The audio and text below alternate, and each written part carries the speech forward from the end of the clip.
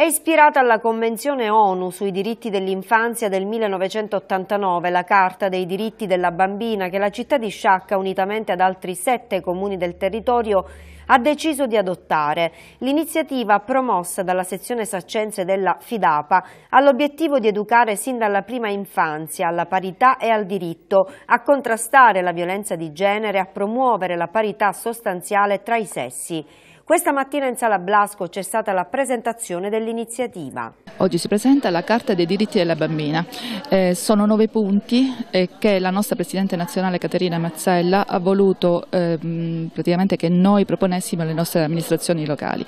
Eh, noi, gruppo Fidapa di Sciacca, non ci siamo limitati soltanto al nostro comune Saccenze, ma abbiamo voluto interessare anche i paesi limitrofi a noi, dove c'era presente una nostra socia e quindi otto fidapine praticamente hanno interessato otto comuni e sono riuscite a far parlare questa carta grazie anche all'intelligenza, voglio dire anche alla sensibilità delle amministrazioni locali e dei sindaci naturalmente che ne hanno curato tutte le procedure. È un'iniziativa simbolica, ma qual è l'importanza e il significato? L'importanza è sensibilizzare l'opinione pubblica, per cui noi non ci fermeremo soltanto a questa approvazione, ma seguiremo le varie amministrazioni in tutte le iniziative che loro vorranno intraprendere proprio facendosi guidare da questi, linee, da questi punti che sono la linea guida diciamo, diciamo, della carta. E, ehm, una di, tra queste per esempio sarà quella, la stiamo per annunciare all'interno della sala Blasco di oggi, ehm, l'istituzione di una borsa di studio che proprio promuoveremo all'interno dei comuni che hanno approvato la Carta dei diritti della bambina, rivolgendo naturalmente alle scuole.